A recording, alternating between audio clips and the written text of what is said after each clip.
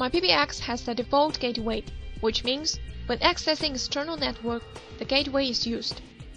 In some cases, like when SIP service providers would require WAN port connection, but my PBX cannot access external network through SIP provider network. So LAN port needs to be connected to another network for accessing external network.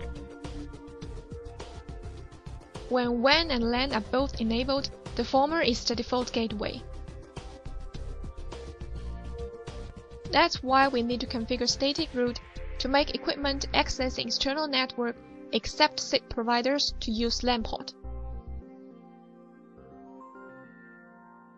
For example, the WAN gateway, i.e. the default gateway is this. And the LAN gateway is this.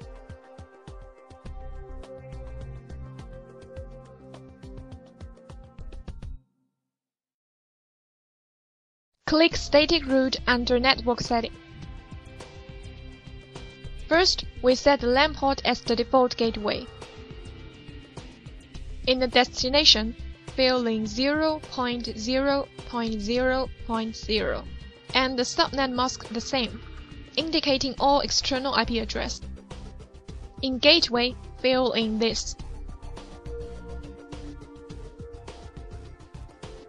Leave the metric blank if you don't know what to fill in. In interface, choose LAN. Click Add.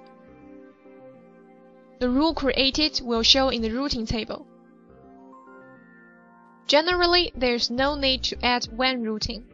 Only when the registration IP of SIP provider is not in the same network segment with WAN port IP is it needed. For instance, fill in the destination,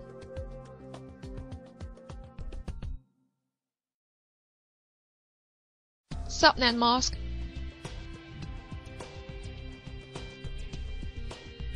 and gateway.